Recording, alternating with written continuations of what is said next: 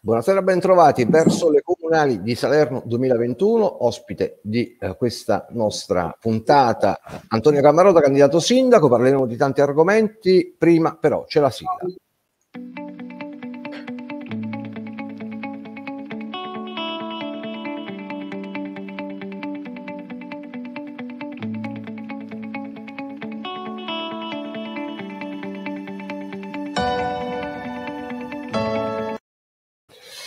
Allora, rieccoci pronti a partire con la nostra intervista con Antonio Cammarota. Salve, benvenuto. Grazie Antonio. Partiamo subito dall'attualità. Insomma, questo Consiglio Comunale è l'ultimo che si è tenuto eh, venerdì eh, con un po' di polemiche all'interno di quella che è l'opposizione, variegata opposizione, no?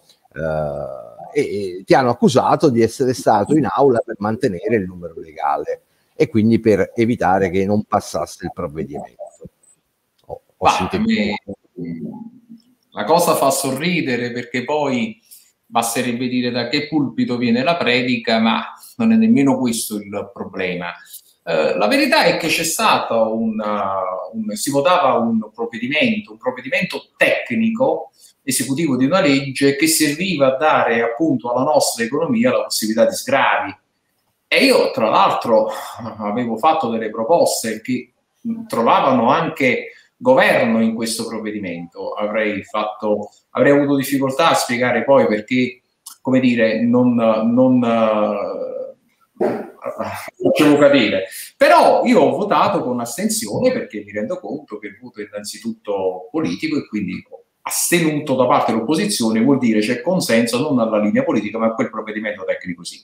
Nella fattispecie questo problema del numero legale io non l'ho percepito proprio perché non me lo ha tra l'altro fatto notare nessuno, noi in Consiglio Comunale siamo seduti un po' sparsi con questa logica del Covid, siamo insieme ai giornalisti, cioè c'è confusione, quindi non siamo in grado nemmeno di verificare se qualcuno non lo dice il numero legale.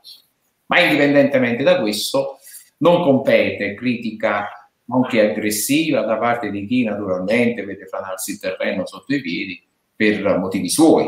Insomma, da questa parte noi possiamo dire di non aver mai votato De Luca, né alle comunali ultime, né alle regionali, come invece altri che oggi puntano il dito per poi indirizzarselo nel proprio occhio.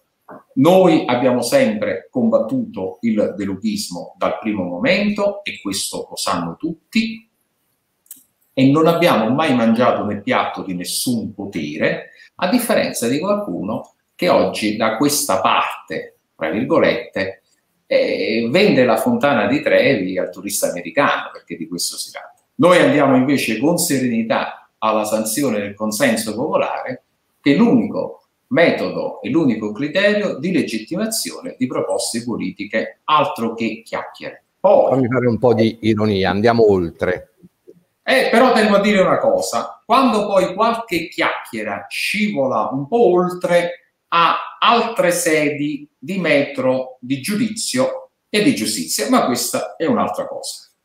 Allora, parliamo un po' anche dell'appuntamento con le comunali, perché oramai dovrebbero mancare cinque mesi, poco più, insomma, in attesa di conoscere la data. Eh, è stata una settimana quella che si è, che si è conclusa, eh, contrassegnata da diversi eventi, rinunce a candidature, eh, soluzioni alternative, ehm, tutti che rivendicano un ruolo, Antonio, che è quello del civismo.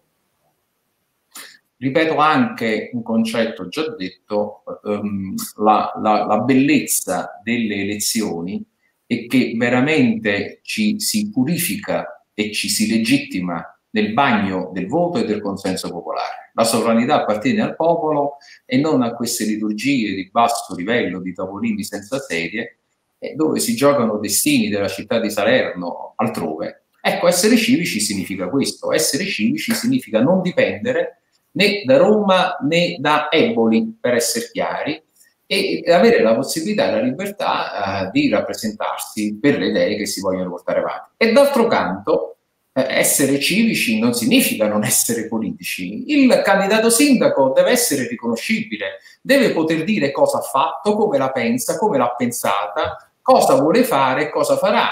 Non è il coniglio dal cilindro di un mago, quello è un privato, non è un civico, è tutta un'altra storia.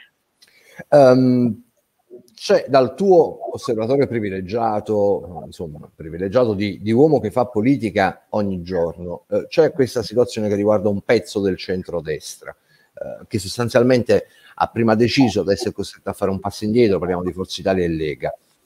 Che, che, che idee hai?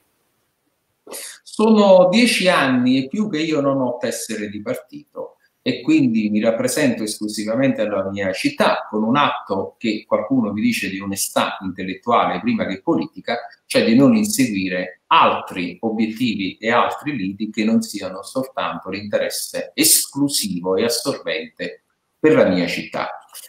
Posso dire che quando il centrodestra è stato unito su cavalli vincenti è stata un'altra storia e mi permetto di ricordare che l'ultima volta che questo avvenne fu proprio alle provinciali del 2009 quando nella città di De Luca e nel suo collegio più forte, quello che espresse Nino Savastano, oggi consigliere regionale, l'unico a rappresentare il centrodestra vincente nelle urne della città capoluogo fu Antonio Gammarota.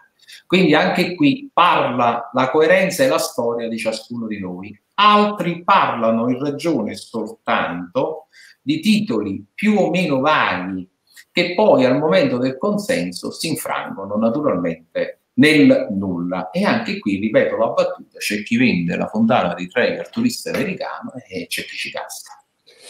Grazie ad Antonio Cammarota, grazie a quanti ci hanno seguito, appuntamento alle prossime interviste con Agenda Politica. Arrivederci.